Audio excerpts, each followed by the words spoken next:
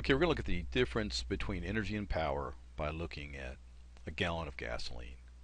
So I'm showing a little gas container up here and this gas container contains a gallon of gas and a gallon of gas contains about 133 megajoules of energy per gallon. We're going to round that to 100 megajoules. We're also going to say that 1 horsepower is approximately equal to 1 kilowatt to make the math easier. In reality, 1 horsepower is 746 watts. Um, but this will just help us with the math, help us do these things, um, these calculations a little quicker.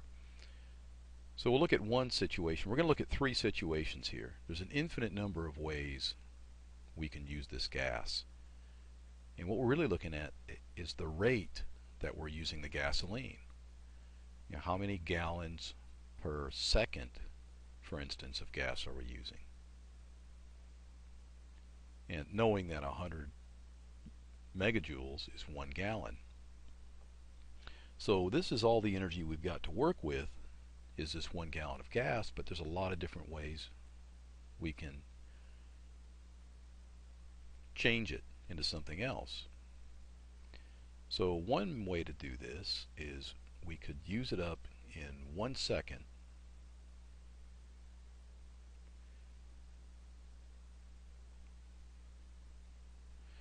If we do that, we're going to be using 100 times 10 to the 6th, 100 megajoules. So 100 times 10 to the 6 joules in one second. And that's going to give us 100 times 10 to the 6th joules per second which is the same as 100 megawatts of power. Okay, because a watt is one joule per second.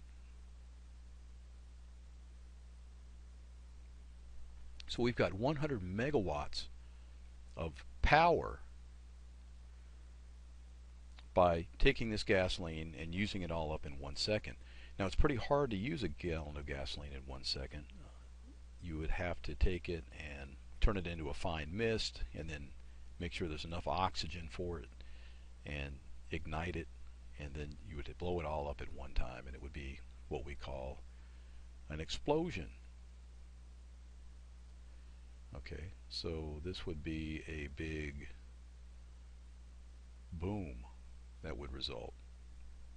Lots of energy. Now because we said that one horsepower is approximately one kilowatt, then this is also equal to 100,000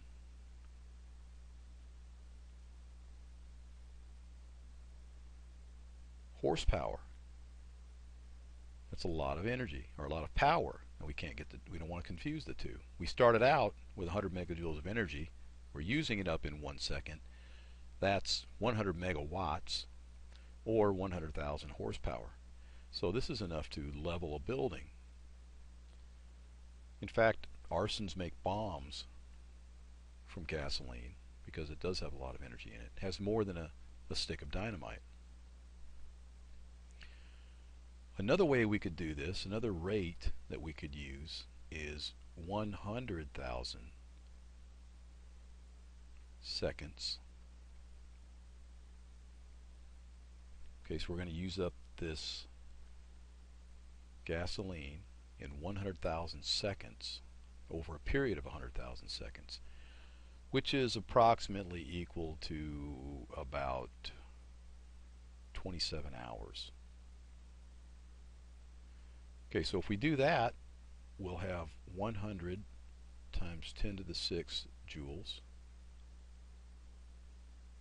over 100 times 10 to the third seconds.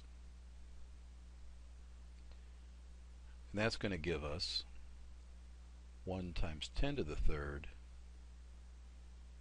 watts, joules per second, or watts.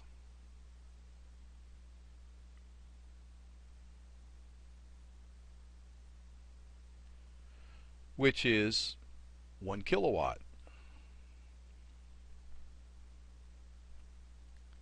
And we said earlier that we're going to make the equivalency of 1 horsepower is 1 kilowatt. So this is approximately 1 horsepower. So if we use the energy up over a period of 27 hours, we can run a 1 horsepower engine for 27 hours. So maybe a small lawnmower or something, we could mow the grass for 27 hours. But really, that's not going to really happen with lawnmowers because the efficiency of engines, internal combustion engines, is only about 20%. So we're really only going to get about one fifth of that 27 hours. But still, we're getting a lot of useful work out of this. One horsepower for 27 hours. Another possibility is and this is sort of a another extreme. Here we had an extreme by saying that we used up the gasoline in one second and we had an explosion. Here we're saying we're using it over a period of 27 hours.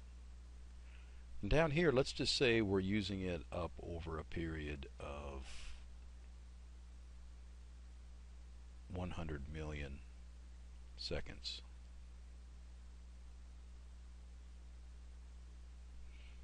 Okay, so if we do that, then we've got 100 times 10 to the 6th joules, 100 million joules, divided by 100 times 10 to the 6th seconds. And that's going to give us 1 joule per second, which is equal to 1 watt.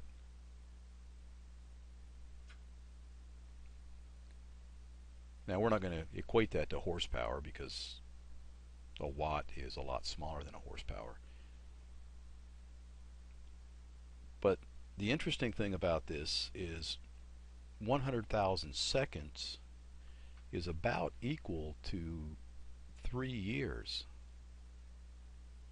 So we can get one watt of energy for three years with this gallon of gasoline. Now we with one watt we might be able to charge um, a cell phone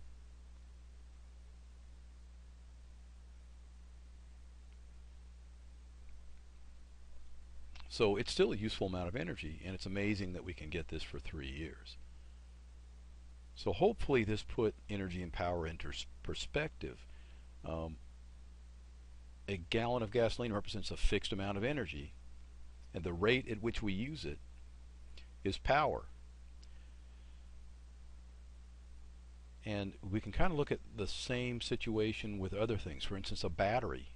And I'll do a, another example here later. Um, we're going to call this energy and power 1. Okay. Um, but if we think about a battery, a battery contains a fixed amount of energy. If we take a 12 volt battery that's intended for a car and it's charged up, it has a fixed amount of energy in it. And there's different ways that we can take that energy from the battery. And some of them involve large amounts of power and some don't. It just means we can draw draw more power or we can use the battery longer if we use less power. Okay, so hopefully that was helpful.